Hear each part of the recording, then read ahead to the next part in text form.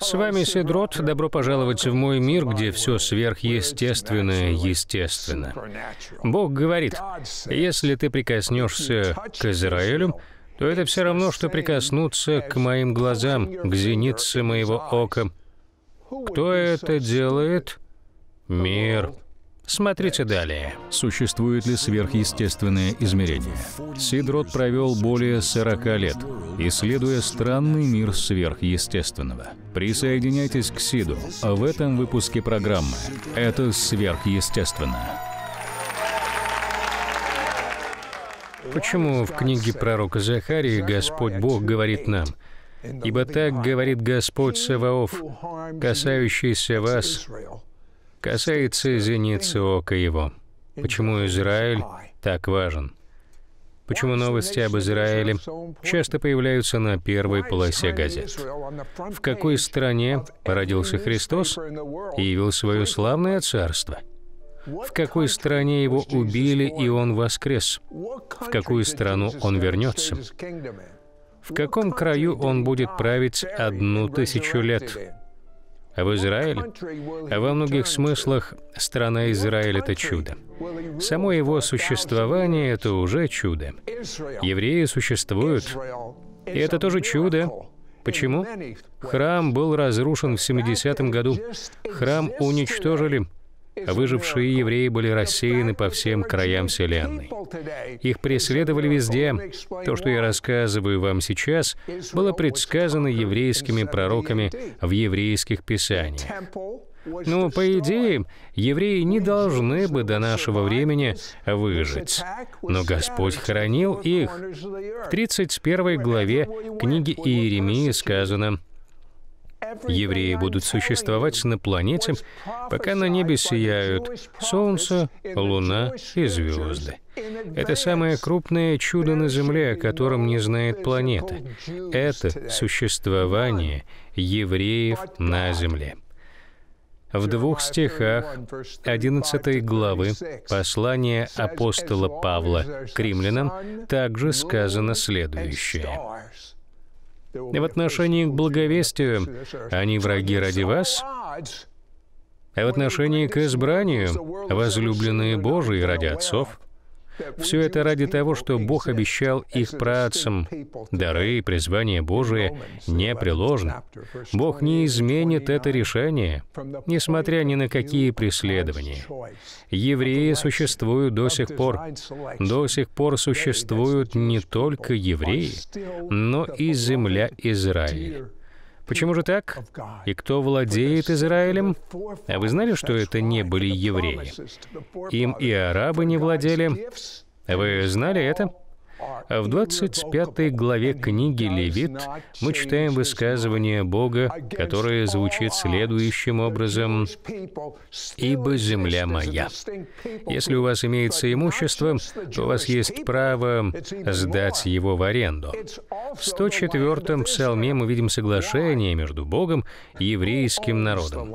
«Будь я юристом, я говорил бы об этом в суде». И вот они, условия завета. Господь говорит, что Он вечно помнит завет свой. Как долго? Запомнили? Вечно. Есть стих, который гласит следующее. Слово, которое заповедал в тысячу родов. Итак, он для тысячи родов. Я напомню вам о том, что это вечный завет с Господом Иисусом Христом.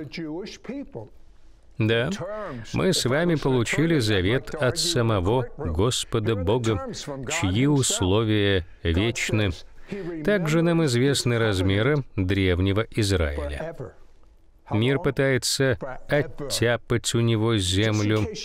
По словам Всевышнего, размеры земель древнего Израиля превышали его нынешнюю территорию в 10 раз, согласно стихам из 15 главы книги «Бытие». Тут возникает вопрос, почему эти обещания о евреях и Израиле так важны? И Бог, конечно же, дает ответ. Они важны для вас, для меня и для Бога. В 23 главе Евангелия от Матфея сказано о важности этих обещаний. А вот что Мессия, Иисус Христос, говорит о еврейском народе. «Ибо, сказываю вам, не увидите меня отныне, доколе не воскликнете «Благословен грядой во имя Господне». Почему это так важно? А потому что важно возвращение Христа, это важно для Бога и для нас всех. А почему это важно для дьявола? Потому что когда Иисус вернется, дьяволу придет конец. Тут возникает вопрос, с какой целью Господь Бог сохранил евреев? Спроси об этом десять христиан, они вряд ли ответят, почему же Бог сохранил их? И ответ находится в 17 главе Евангелие от Иоанна. Все — это две группы. Евреи и язычники, которым предстояло стать одним единым народом. А что произошло, когда они стали едиными в Мессии? Мир поверил в Бога, но так ли это важно? Другими словами, тело Христа является неполным без христиан из евреев. Оно является неполным без христиан из язычников в церкви. Нет полноты без этих людей, за которых Он умер и которых Он так сильно любит. Они стали едиными, не только общаясь друг с другом, но едиными в Мессии Христе. А затем у сатаны начался его худший ночной кошмар. Бог дал такое обещание одним лишь только евреям. Я прочту фрагмент из 121-го псалма. В нем сказано «Просите мира и Иерусалиму». На иврите «мир» — это «шалом». Одно из значений слова «шалом» — это завершенность. То есть просите завершенности Иерусалиму. А что такое завершенность непосредственно Израиля? Единство евреев и язычников. Вот что это такое на самом деле. Когда мы молимся о полноте для Израиля, то единый новый человек, которым восхищался Павел в послании к Ефесянам, и который любит Иерусалим, будет процветать по обетованию Господа Бога. Видный знаток иврита, которого зовут Дерек Принц, он уже давно на небе, и все вы, конечно же, хорошо знаете его учение, определение. Так вот, он дал определение слову «процветать». Давайте посмотрим, что Дерек Принц говорил об этом. Слово «процветать» на иврите означает «мир», в сердце, мир, в сердце. Молись о полноте Иерусалима. Те, кто любит Его, обретут мир в своем сердце. А нуждаетесь ли вы в таком удивительном мире, в таком сверхъестественном мире — это факт из Библии. Славное спасение евреев послужит самому крупному пробуждению и самому масштабному покаянию людей в истории. Будьте с нами, не уходите. Мы скоро вернемся. Это сверхъестественно.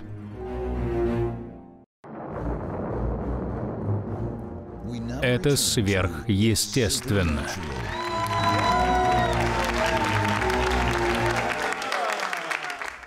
Вы хотите увидеть всю передачу? Вы увидите особый фрагмент, не вошедший выпуск. Когда этот выпуск окончится, то наберите ссылку, указанную на экране. Присоединяйтесь ко мне для информации и откровения, о которых знает только малое число верующих, и не пропустите это. Бог желает покаяния евреев и язычников. А знаете ли вы из Библии Божие задание для евреев из христиан? Знаете ли вы его? А вот оно, проповедовать язычникам. В Евангелии от Иоанна, 4 главе, 22 стихе, сказано вот что. Спасение от иудеев. Вы читали о 144 тысячах евреев в книге Откровения. Все знают это. В последние дни евреи-христиане станут суперевангелистами, так же, как апостол Павел. В 23 стихе 8 главы книги Захарии сказано вот что. «Так говорит Господь Саваоф, Будет в те дни, возьмутся десять человек из всех разноязычных народов, возьмутся за полу Иудея и будут говорить, «Мы пойдем с тобою, ибо мы слышали, что с вами Бог. Мы пойдем с тобою, ибо мы слышали, что с вами Бог». Это задача христиан-евреев. А где нужно служить остальным? Сейчас вы все узнаете. Хорошо, когда мы с вами знаем Божие поручение из Святой Библии. В послании к римлянам написано, «Неужели они приткнулись, чтобы совсем пасть? Никак. Но от их падения — спасение язычникам, чтобы возбудить в них ревность. Спасение идет к язычникам, можно сказать так, поручение христиан из язычников состоит в хождении в полноте Святого Духа, в Его славе и силе. Это вызывает ревность у евреев. Мы нуждаемся друг в друге. В этом случае Мир поверит в Бога. Бог учит, когда Христос вернется, спасется весь Израиль. Что будет с вашими друзьями из евреев и язычников, если они умрут, не познав Христа? Они умрут в своих грехах и будут отделены от Бога навсегда. В книге пророка Иезекииля, 18 главе, четвертом стихе написано так, «Душа согрешающая, та умрет». А еще 142-й псалом, «Не входи в суд со мной, ибо ни один не оправдается перед тобою». Произошло чудо. В 70-м году храм разрушили. Евреи перестали приносить жертвы. А вот так мы перестали приносить жертвы. Мы больше не праздновали Йом-Кипур, когда Бог отпускал грехи. Ведь никто не праведен. Один единственный грех приводит к смерти, к вечному отделению от Бога. А что же сделали евреи? Ответ. Мы с вами находим у мессианского еврея Иоанна. Он говорил о Пасхе. Что произошло с евреями? Мы принесли ягнят в жертву, помазав его кровью двери. Ангел смерти не вошел в наши дома. Когда Иоанн Креститель увидел Мессию Иисуса, он сказал, «Вот Агнец Божий, который берет на себя грехи всего мира». А знаете, примечательно то, что наши изобретательные раввины возродили иудаизм. Но Тора говорит, без пролития крови нет прощения грехов. Кроме того, без пролития крови невозможно праздновать Йом-Кипур. Большинство христиан не знает этого. Согласно Слову, мы живем во время полноты эры язычников. В Библии есть две причины для этого. Вот первая причина по которой мы живем в такое важное время. Я хочу прочесть вам из 21 главы Евангелия от Луки. «Иерусалим будет попираем язычниками, доколе не окончатся времена язычников, произошло чудо с того дня, как Иисус произнес пророчество о разрушении храма в 70 году и до 1967 года Иерусалим не был под контролем государства Израиль. 54 года назад Бог помог нам, сделав чудо во время войны, и Иерусалим снова стал подвластен Израилю. А что же это означает? Смотрите, это означает то, что конец времен, час пророческого времени начался. И заметьте, это не часы, а минуты. Данный стих — это довод о наступлении полноты эры язычников. Павел пишет, «Ибо не хочу оставить вас в неведении о тайне сей, что ожесточение произошло в Израиле. Отчасти до времени оно Отчасти, ведь часть евреев верит во Христа. Оно произошло отчасти до того времени, пока войдет полное число язычников. Итак, Здесь описано духовное прозрение евреев. Вспомните ослепление Савла и Старса. Он не видел, он увидел Христа, когда прозрел. В эти последние годы я вижу как происходит духовное прозрение еврейского народа, и они верят в Иисуса. В недавние годы я читал лекции о чудесах евреям, проживающим в Украине, России и Израиле. За последние годы 13 с половиной тысяч евреев приняли Господа Иисуса Христа в основном в Израиле. А почему? Евреи требуют знамений, чудес, и это говорит нам Библия. Они требуют знамений, когда Бог являет свою славу, происходят чудеса и знамения. Эта слава меняет жизни людей. И здесь назревает вопрос — Кому принадлежит Божья слава? В первую очередь. Девятая глава послания к римлянам говорит об этом так. Израильтян, которым принадлежит слава. Эта слава приходила в форме огненного столпа в пустыне, и евреи следовали за ней. А вы скажете, ну, это Ветхий Завет. А что же насчет нового? Кто принял славу первым в нем? Давайте вспомним Пятидесятницу, праздник Шавуот. Кто принял славу первым? Евреи.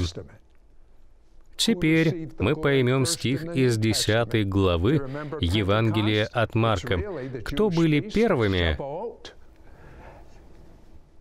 Кому нужно было принять благую весть, а также и славу. Конечно, евреи. Они будут последними, кто примет Евангелие и славу Бога. Последние — это евреи. Они будут первыми, кто принесет Евангелие миру в последние дни мира. Задача христиан из язычников состоит в том, чтобы стать старшим братом для еврейского народа. Ведь мы ничего не знаем, кроме Библии. Евреи положили начало, основание. Спасение миру пришло от иудеев. Вы увидите евреев и то, что будет происходить, и большая слава приведет к самому масштабному покаянию в истории планеты. В книге Агея, 2 главе, 9 стихе, сказано следующее. «Слава сего последнего храма будет больше, нежели прежнего, так говорит Господь Саваоф. И на месте сем я дам мир, говорит Господь. Я дам славу и полноту. Это большая слава, она уже пришла. Так когда же начнется покаяние? Библия говорит точное время пробуждения. И это написано в 9 главе пророка Амоса. «Вот наступят дни, — говорит Господь, — когда пахарь застанет еще жнеца, я прочту вам другой стих из 9 главы пророка Амоса. «И возвращу из плена народ мой Израиля, и застроят опустевшие города, и поселятся в них, не забудьте сразу после окончания программы посмотреть материал, не вошедший выпуск. Наберите ссылку, которая на экране. Там я буду учить о золотой славе евреев. А затем помолитесь о том, чтобы Бог дал вам эту славу. Итак, заходите на наш сайт, адрес которого тройное w sidrot.org, потом касая, слэш, сит. И вот что говорит Бог. Кто расскажет евреям истину, в книге Исаии сказано, «Утешайте народ мой, говорит Бог ваш, говорите к сердцу и Иерусалима, и возвещайте ему, что исполнилось время борьбы его, что за неправды его сделано удовлетворение». В послании к римлянам апостол спрашивает, «Но как призывать того, в кого не уверовали?» Как веровать в того, о ком не слыхали, как слышать без проповедующего «это вы». Безусловно, это вы. Кто расскажет еврейскому народу о том, что дни печали прошли?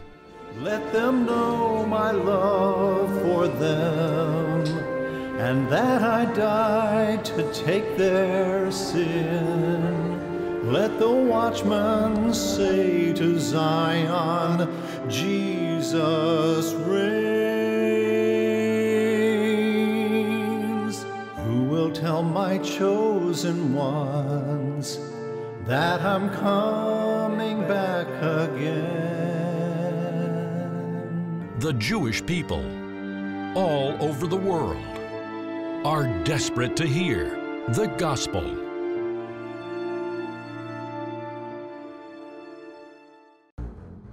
Смотрите в следующем выпуске. Здравствуйте, я Майлз Килби. Вы хотите научиться узнавать голос Бога? Тогда смотрите новый выпуск программы «Сидорота».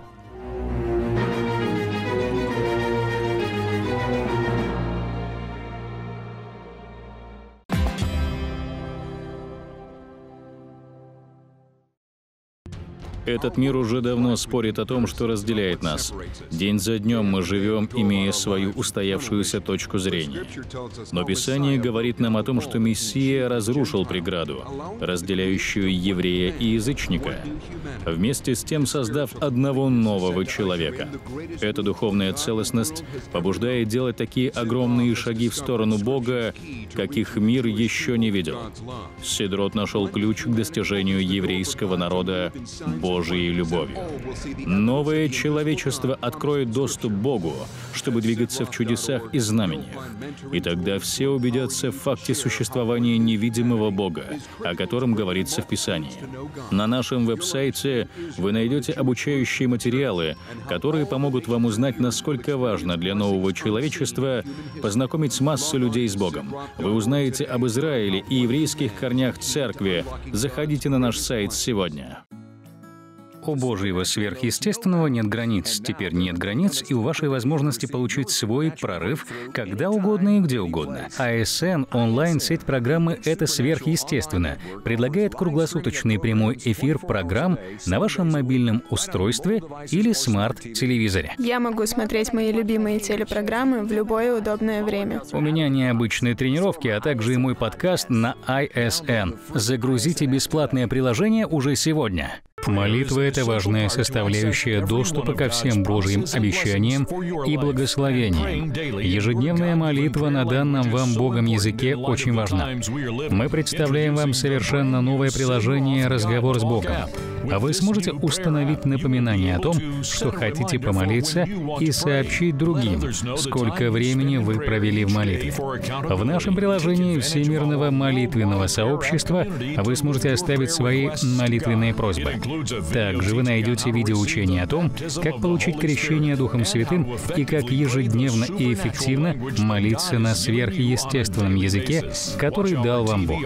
Смотрите архивы наших программ АСН, сети «Это сверхъестественно», чтобы созидать свою веру и поверить в невозможное. Приложение бесплатное, доступно на всех девайсах. Зайдите в свой магазин приложений и найдите «Разговор с Богом» Сидорота. У Божьего сверхъестественного нет границ. Теперь нет границ и у вашей возможности получить свой прорыв когда угодно и где угодно.